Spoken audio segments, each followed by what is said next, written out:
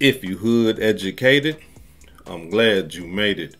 Allow me to unfold my knowledge, wisdom, and understanding from a hood brother's point of view to all of you here, there, and everywhere. Now check me out. Man, look, I'm, look, bruh, we pathetic, bruh. I'm talking about, man, like we just, and when I say we, I'm talking about me too, y'all. Like, I'm, bruh, we pathetic. I'm talking about man, like we we are in love with conflict. We are in love with chaos, confusion, destruction. We love it. We crave it. And then we get upset when we can't see it. Here it is. We got this brother J. Cole, and we got this brother here, uh, Kendrick Lamar, almost about to start what we call a rap beef. But J. Cole, oh my God, man. God bless that brother. Did one of the coldest and profoundest moves I ever seen in hip hop or I ever seen in street politics ever. Because these are the things that men just don't do, right? Men don't apologize. Men can't be sympathetic or empathetic. If somebody trying to challenge you, you got to challenge them back the best way. Not only that, you even go harder because this is what the society has been telling us and teaching us ever since we was little boys. But what this brother right here just did, to me, in my own view, broke the mold. Check it out. So I'm so proud of that project, except for one part it's one part of that shit that make me feel like, man, that's the lamest shit I ever did in my fucking life, right? And I know this is not what a lot of people want to hear. I know I can hear my niggas up there right now like, nah, nah, don't do that. But I gotta keep it 100 with y'all, right? I damn near had a relapse, right? Because y'all heard some shit that happened two, two, three weeks ago, however long it was. Y'all, y'all, y'all heard that bazooka that was dropped on the motherfucking game, right? So all of this time of me moving on my own accord, for the first time I was tested. Why am I tested? Because I got the world and I got my niggas like, what you gonna do, Cole? my niggas like, bit boy, I must have had a thousand missed calls. Oh my fucking God. Text flooded. I couldn't even answer my shit. Nigga, it's wartime. Right? Niggas wanna see blood. And and I was conflicted because one, I know my heart, you know what I mean? And like, I know how I feel about my peers, these two niggas that I just been blessed to even stand beside in this game, let alone chase, chase their greatness, right? So I felt conflicted because I'm like, bro, I know I don't really feel no way. But the world wanna see blood. I don't know if y'all can feel that, but the world wanna see blood. So I say all of that to say, in my spirit of trying to like get this music out, I ain't gonna lie to y'all. I moved in a way that was that I feel spiritually feel bad on me. Like, like I try to like jab my nigga back and I try to keep it friendly. But at the end of the day, when I listen to it and when it comes out and I see the talk, that shit don't sit right with my spirit. That shit make me feel, that shit disrupts my fucking peace. So what I wanna say right here tonight is in the midst of me doing that and, and in that shit, trying to find a little angle and downplay this this nigga's fucking uh, catalog and his greatness, I want to say right now tonight, how many people think Kendrick Lamar is one of the greatest motherfuckers to ever touch a fucking microphone? Dreamville, y'all love Kendrick Lamar, correct? As do I. So I just want to come up here and be like, publicly be like, bruh, that was the lamest, like goofiest shit. And it make I say all that to say it made me feel like 10 years ago when I was moving incorrectly. And I pray that God aligned me back up on my purpose and on my path. You know what I mean? I pray that my nigga really didn't feel no way. And if he did, my nigga, I got my chin out. Take your best shot. I'm gonna take that shit on the chin, boy. Do what you do. You know what I mean? Like, all good. Like, it's it's love. And I pray that, you know, I pray that y'all are like, forgive a nigga for like the misstep and then, and then I can get back to my true path. Cause I ain't gonna lie to y'all. Past two days felt terrible. Like, it let me know how good I've been sleeping for the past 10 years. So all of that to say, man, I want to I want to now perform the song that's a reminder to me of getting back on the right path and getting in tune with God. And the name of the song is called Love Yours. I want to do that for y'all right now. Now, for those of you who don't know, Kendrick Lamar came out with a song on Metro Boomin's uh, album mixtape, and I'm talking about man, he said some stuff on there that didn't sit well with J. Cole and uh, Drake. He said, you know, other words, you know, F them, it's all about me. I'm the king, right? It said a few other cho choice words, right? So J. Cole came back and responded. This is hip hop. He came back with a seven minute drill where he talked about Kendrick Lamar's uh, catalog, and I'm talking about like disrespecting him. This is hip hop, right? But we got to understand something, right? This is not battle. This right here is, is how the beefs start. And I think a lot of people are getting that confused. When you dealing with battle rap, here's a guy sitting here and you sitting there and y'all understand that look, we finna talk low down and dirty about each other because we're battling. I'm finna talk about your mama, your girlfriend, your child. I'm finna dog you out. And you finna try to dog me out because this is battle rap. And everybody go home after that, right? There's a difference. But when there's a hip hop beef, it don't everybody don't go home from the hip hop beef. It's not battle rap, it's something different. Everybody does not go home from hip hop beef. Do y'all know how many people would be alive right now today if they would have just been themselves and not been the person that the environment wanted them to be? And not been the person that the gang wanted them to be, that drug dealers wanted them to be, that pimps and hoes wanted them to be. If they would have just stood firm and just been themselves, do y'all know how many people would be alive? How many people wouldn't be spending time in jail if they would just been themselves? Damn, you know what, bro? I, I, I did join the gang and y'all beat me up and got me in this gang and I, I got shot at five times. I don't think I really like this. I don't think I like being in this gang, man. I can't drive my nice, pretty car. These other guys are shooting up my car all the time. I can't go nowhere because everywhere I go, there's a different gang, and I got to represent this gang. I, I, I, I don't really like this. I want to go back to the old me. I want to be the person where I can do what I want to do, go where I want to go, go where I want to go without having to go through all this. I, and then y'all want me to kill people, so now I got to pack a gun. I gotta go kill people. I gotta chase people down. I gotta go sit in the weeds and watch people and stalk people and try to kill them for a street that I don't even own. Nah, I don't think I want to do this. Right? A lot of gangbangers, a lot of people in that street life go through this. They have this conversation with themselves. Believe me, they might not want to tell you, but if they will be 100, they know they had that conversation with themselves. I don't want to do this. But the environment, the gang, the people compels them to do things that they really don't want to do. And that's why I got so much respect for J. Cole because he did everything that people thought that he wouldn't do. He said, nah, I'm cool. I love this brother. I respect him. I ain't got no ill feelings towards him. And not only that, when he hit back, if he do, I'ma turn the other cheek and I'ma let him do his thing. But he ain't gonna get no response from me. Oh, you a coward. How dare you? You don't let this type of stuff go. Come on, man.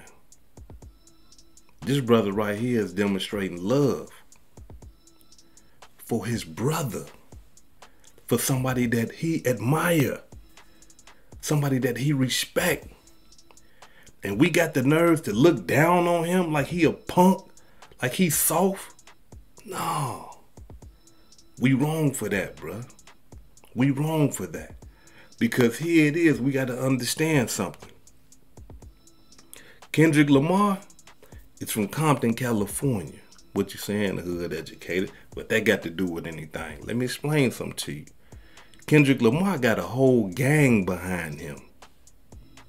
Yeah. Pirus, a whole gang. He can't control all them. Just imagine if J. Cole said something so disrespectful that one of them gang members say, you know what, I gotta put some work in for the homeboy. I don't mm-mm, I don't like what he said. This is hypothetically speaking, but this is a possibility. And we all understand this. For an example, let me, let me how many people? How many people have Tupac Shakur killed? According to everything we know about this brother's life. Rest in peace to Tupac Shakur. How many people have he killed? None. How many people died behind Tupac's murder? You see what I'm saying now? uh, Tupac murder kicked off a whole war. South uh, Southside Compton Crips, mob Pirus, killing each other behind Tupac murder. Come on. These things happen. Why? Words, rap beef. King Von, rest in peace to that brother. FBG Duck, rest in peace to that brother. They ain't no longer here words, rap beef. Yeah, you can say the gang stuff too, but when those rap beefs, when those words get, that just turned it up. That turns it up. So we got to understand something. All that, hey man, you know, this is just competition. And uh, look, you be in competition with your ops. You don't be in competition with people that you respect and that you love. That's what people are failing to understand. The brother said that he respect uh, Kendrick Lamar. He said he loved Kendrick Lamar. So why beef with somebody that you respect and you love? There is people dying and going to prison all over America, all behind words. Rappers are dying on the daily, all behind words. And listen, I'm not talking about the battle rappers. Battle rappers, they battle, they rap, and they go home. I'm talking about beef. That's what I'm talking about. I'm talking about these guys that are rapping over these beats, talking about what they'll do to people and stuff like that. They dying all over America. Words. We got to understand the power of words, bruh. Words can give life and words can take life. And when I see J. Cole doing what he doing, he spoke life to me. Not only that, it shows some of these young brothers that's coming up. You know what? Hey, I can get out the way. I can say, hey man, you know what, brother? I ain't got no beef with you, man. Hey, look, I love you. I respect you, bro. Let me continue on to walk on my path. Let me continue on to get this money and create this generational wealth for my kids and my wife and my mama and all them and, and the other generations when I'm dead and gone. I ain't got no beef with you, brother. Peace. I love you. I respect you. How do you respond to that as a man if somebody humbled themselves and say that to you? Even though you puffed up hey man, you know what? Hey, hey, hey, I'm finna. And he's, hey brother, you know what? I love you, bro. I respect you. I ain't got no beef with you. You my brother. I love you. How do you, you know, how do you, you, damn, hold on, brother. All right, my fault, bro. I was tripping, man. I, I let the people get to me. My fault, bro. You know, how do you respond to something like that? You know, that kills everything. That throws water on the fire. Because here it is, you coming with you coming with straight love, no hate, no animosity, no conflict, no competition, love. And that's what we need to get back to. Because here it is, everybody like this conflict, everybody like this competition until people start dying. Then it's, oh man, they they done. Why they do that and all that? Uh, Young Dolph, rest in peace to that brother. Words. What done happened? He done died. And now Big Jook done died. Words. Dolph ain't killed nobody. Jook ain't killed nobody. But the words that they've been speaking. Look what it brought to them. Come on, let's. We got to be 100. This stuff dealing with words, we got to understand the power behind words. And, and I mean, and, and quit playing and quit. I'm talking about, look, man. For this brother J. Cole to do this, man, I'm talking about, man, we should we should be championing him right now. This man should be sitting on the throne chair right now. We should be, I'm talking about throwing rose petals at his feet. Letting him drink out of gold cups for doing what he just did. Because this right here could possibly break the cycle. It could possibly. I'm not saying that it will, it can't. but I'm saying though, it could possibly. Because here it is, we got J. Cole doing something major. Other rappers could see this and be like, you know what? That was a smart move, bro. This man right here just dodged all type of chaos, conflict, and all type of stuff. Probably saved his life. Yeah, probably saved his life. Probably saved Kendrick Lamar's life. Kendrick Lamar could have dodged. I mean, can be dodging all type of conflict and uh, conflict and competition because we can't say that J. Cole just because he apologized that you know he a coward. He got people behind him too. You see what I'm saying? So I gotta extend my honors to the brother J. Cole. I gotta give it up to him for the simple fact of what he did is profound. And I hope that a lot of young brothers that's coming up in this rap game will look at this and say, you know what? The next time somebody want to beef with me and get to talking crazy and stuff like that, I'm going to do what this brother right here did. Because I guarantee y'all, right? And just look, hood educated, listen to me. Kendrick Lamar is not finna respond with a diss song even after the seven minute drill. He's not. Why? Because when that brother came from the heart and said that what he what he did troubled his spirit and that he wanted people to forgive him and he wanted kid he want to ask he want to apologize. It ain't no knocked all the wind out of Kendrick Lamar. Ain't no I'm talking about the body blow. He damn bro like I'm trying to fight this man, right? That's just like you trying to fight somebody, and I'm talking about you in the middle of the ring, you ready to go, and this man uh, come in the middle of the ring and he just start praying, making salat, praying in all type of ways.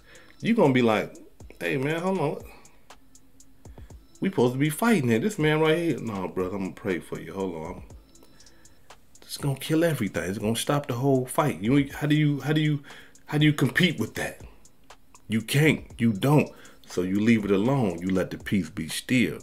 And I believe, this is just hood educated. I believe Kendrick Lamar is not going to respond. And I believe that that would be a educated decision if he don't.